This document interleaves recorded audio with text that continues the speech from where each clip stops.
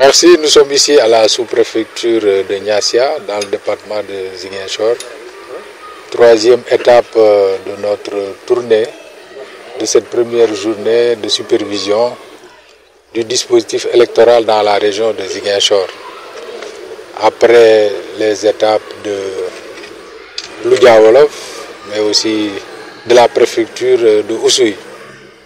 Ce que j'ai constaté sur le terrain me rassure et également me donne entière satisfaction quant aux dispositions déjà prises par les autorités administratives, en l'occurrence les préfets et sous-préfets concernés, et qui ont appliqué à la lettre les instructions de M. le ministre de l'Intérieur, qui s'est engagé auprès du peuple à faire en sorte que ces élections se tiennent dans d'excellentes conditions. Et il était donc de notre ressort, ici dans la région de Ziguinchor, de veiller à ce que ces instructions soient appliquées correctement.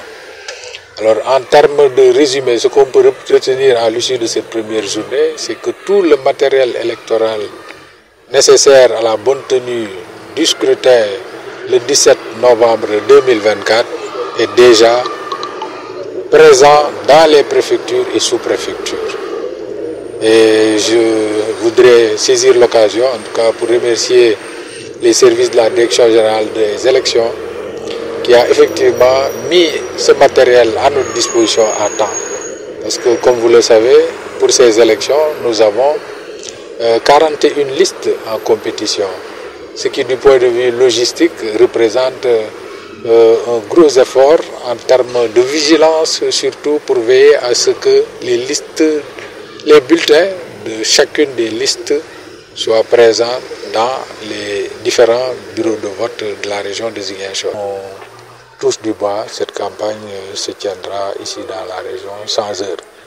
Et c'est une bonne chose parce que le Sénégal c'est un pays de grande démocratie et les citoyens savent voter et n'attendent que le jour du scrutin pour aller accomplir leur devoir de vote.